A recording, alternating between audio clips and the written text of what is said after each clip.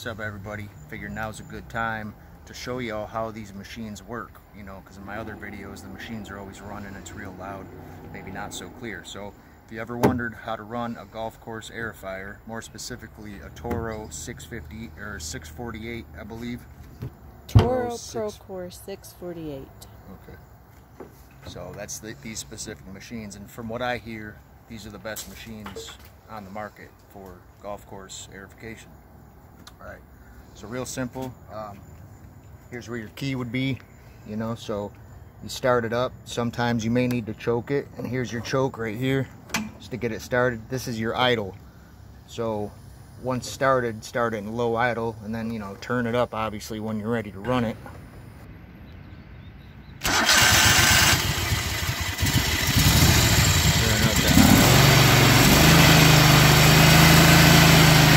So then your machine's running, right? So this is your depth. This is how deep you want your tines to go. The depth control that will, you know, control how deep into the ground you want your tines to go.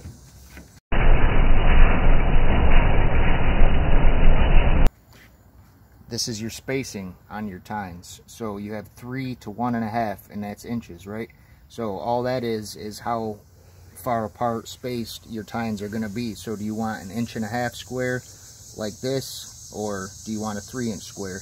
We are aerifying on an inch and a half spacing. What that means is of squares is about an inch and a half by an inch and a half. But always make sure when you're transporting and not aerifying, you always want it to be in T in transport, which is right here. And this here whenever you're moving it, you always want it in transport, but that here is the spacing, you know. So it's all real simple. It's a hydrostatic system.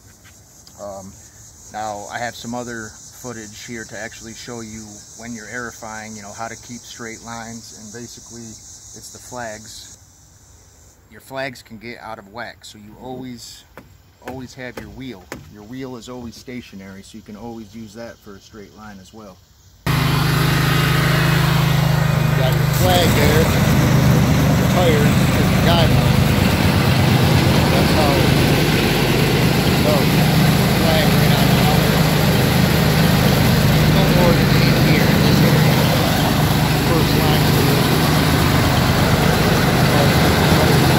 Said hydrostatic, so that's to go forward, that's to go back. And you always want to aerify backwards. So it's, it's always, it's like driving in reverse whichever way you go. Here's your fuel tank. That's where your fuel goes, regular gasoline. There's your hydraulic fluid. Your hydraulic fluid goes in there. You know, that's not something that you have to check every time, but it's probably not a bad idea. You know, your fuel lines, some of these have shut-off valves, but you don't need to worry about any of that. Just for the basic operation, it's start, transport, when you're ready to aerify, depending on what spacing you want, put it there. Right here you have your emergency brake.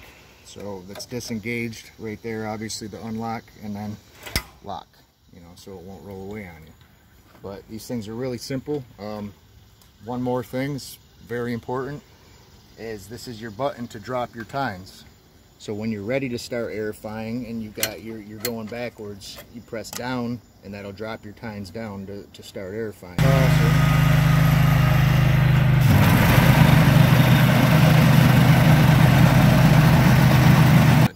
when you're ready to lift your tines back up, all you need to do is either push up or you can hit your switch, you know, and then like I show you here in some of these videos, um, you're gonna do your three point turn and all that. There goes the three point turn. Looks like he's got a little cliff there. So that's it. That's that's how you operate a golf course aerifier, more specifically the Toro Procore 648.